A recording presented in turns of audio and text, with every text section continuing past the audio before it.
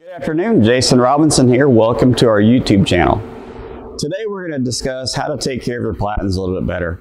It's something that gets ignored because um, we're changing molds in and out so quick, sometimes even two or three times a day in certain situations. And we're, we're in a hurry when we want to get the mold out, get the new mold in, and get running good parts again because it's all about selling time in it. So but there are a few things that we need to take care of. At every mold change will be great, um, at least on maybe a weekly cadence. So we, are gonna, I'm gonna give you some basic um, things that you can do to take care of your platens. Also, how to take care of the, the threaded holes in your in your platen for the clamp bolts to go into, and a little bit of self care on the on the locating ring uh, bushing where the locating ring goes in. Those are things that gets damaged. Um, we get buildup on the platen and it kind of looks like rust or a darker color. Um, we can also have imperfections in the platen face where a mold might hit it or maybe one mold has sat, sat in that one position for a long time and we kind of deform the platen face. So when we deform the platen face, we're not clamping the mold evenly like we would if the, if the platen is nice and square and it's nice and clean.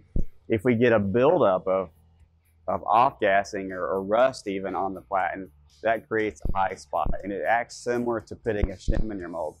So a, a quick, on a 40 ton machine, a quick five, five minute um, stoning process will take care of that. And if you do it every time or at least once a week, this job is real easy. Now, if you ignore it for, for months or years, it can be a, a pretty big task. But best thing to do, like any housekeeping task, is to stay on top of it. Always remember to put on your safety glasses. Let's take a look at some of the tools we're going to need to take care of these platens. The first thing we're going to need is we're going to need a wire, a brass bristle brush, um, not steel but brass, roughly the same size as the bolt that's going in the hole. And then some type of cordless drill, we're going to put that in there. And we're going to use that to clean out the threads, clean all the gunk out. The next thing we're going to need is a tap, uh, preferably a flat bottom tap so it goes all the way down. And here's what's real important. Make sure you have the right tap for the bolt. So if you don't know how to do that, ask a maintenance guy how to do it and he'll make sure you get the right tap. Here's the platen we're gonna, we're gonna work on today. You see that rust? You can see exactly the shape of the clamp plate of the mold. We're gonna get rid of all that rust and buildup.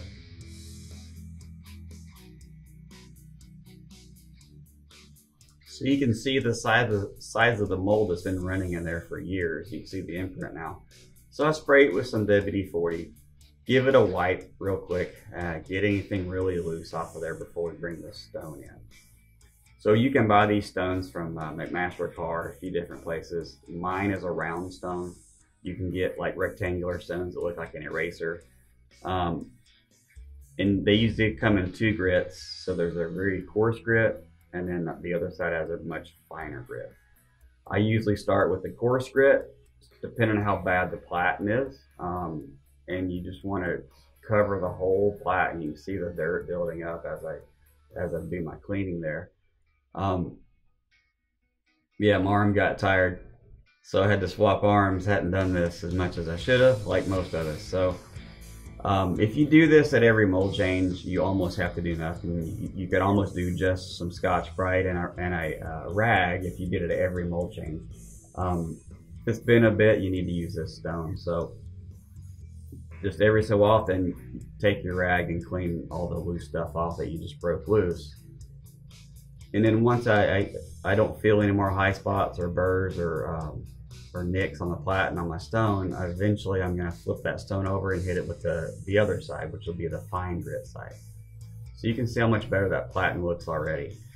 And all this does is it's gonna help me make sure that mold is supported evenly across the platen. So there any high spot, it doesn't take much, just a few thousandths. You know, those are the same dimensions a uh, tool room would shim the mold. So you have a thousandths build up of crud on your platen, you're basically shimming the mold. So you want to keep these things as clean as possible. So I did it with the fine grit side, give it one last wipe. And next I'm going to go around to the front side and just make sure I get all those those operator side um, near to the camera. Get those nice and clean too. Let's check the locating ring for any buildup or high spots in there, which happens a lot of time when people smush the, lo the locating ring in. So now I'm going to use a, a wire brush of some sort and a drill and just get all the extra stuff off of there. You can get the purging, the, the buildup off of there. If the metal's actually a little bit deformed, this might clean it up a little bit. And all this does is help the locating ring slide in slide in there easily so you don't get it stuck and you don't force it in while you're doing the mold change. Give that locating ring one last check with your finger. Feel for any burrs or high spots. And if you do, you can also get a little file and take it off well, that way.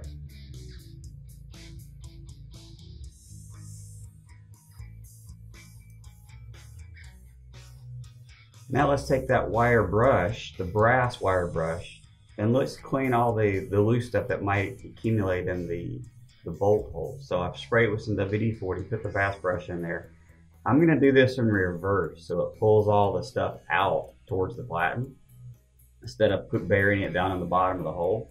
Again, make sure you're using a brass brush, not a, a steel wire brush. And you see the stuff coming out there? Um, this one isn't too bad, but you never know what's going to be in there, and all that. Uh, if that stuff's in there, it makes the bolt hard to tighten up with your with your hand, and then you end up cross threading the the bolt, and then you got a bad hole that doesn't work anymore.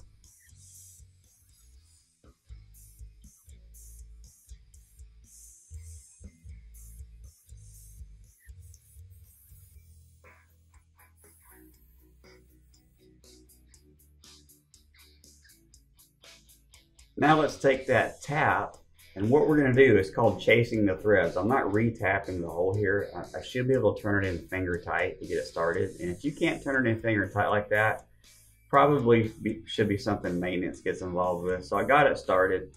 Now I'm just going to use my crescent wrench to chase it down in there. I, this the tie bar was too close, so I couldn't use the T-handle. But um, I'm not really this isn't requiring a lot of effort on my part. I'm just running it down through, cleaning all the last little bit of stuff out of the threads. Um, and you, it's amazing how much easier how it is to tighten them bolts up when you're doing a mold change. If you have to tighten up your bolt or just thread your bolt in with a torque wrench, then there's something wrong with either the bolt threads or the threads of the hole. So doing this occasionally keeps it all really good. If the tap goes in there this easy, you know the bolt will and then I'm gonna turn it back out. It should back out that easy, and if it doesn't, like I said, something's wrong.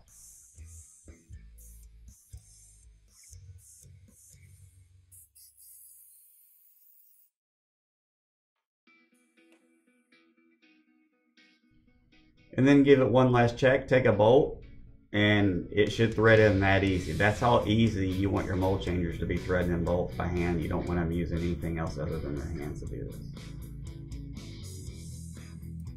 one last thing. Let's look at how far your bolt should go in the hole. So the rule is, is you take the diameter of the threads of your bolt, and here they're 16 millimeters. So it should thread in one and a half times that. So that would mean if it's a 16 millimeter diameter, every time you tighten it up, it should go in at least 24 millimeters. That ensures that you're not going to strip out the hole or strip out the threads on the on the bolt itself. So, you know, just make sure that your bolt is the right length. It, it, can be too long and bottom out, or if it's too short, you don't have enough threads to grab hold of. I'd like to thank everybody for watching our video today. I hope it was helpful. Um, I forgot to show you guys this piece of equipment when I showed the list of tools we're going to use, but this is the stone I used. And if you look at it, it's got a coarse grit on this side and a fine grit on this side. I actually purchased this off Amazon for $48. I think it's under, it's categorized as a sharpening stone, but it works really good for your platens too. Again, $48 and th this will last a pretty good while, so you're not gonna be buying these every month or anything.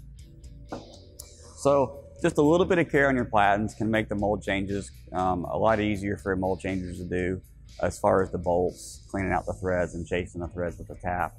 Um, stoning the platens with this is a little more subtle, but over time that buildup will cause uh, like a shimming effect on your mold and you'll start to see like parts of your mold maybe have flash in this corner whereas it don't in this corner and maybe you didn't used to and it, it just helps the platen support your mold the way it's supposed to if you keep it like it was when it was brand new.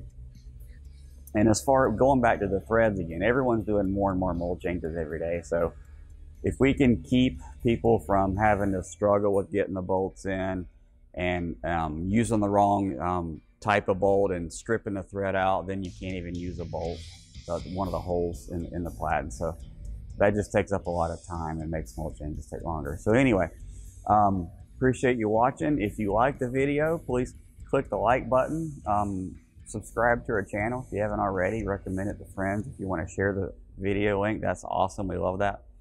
Um, any comments you have about the, the video, if your feedback or what you do differently. And again, this is just the basics. There's more you can do. Just trying to get you guys thinking about it.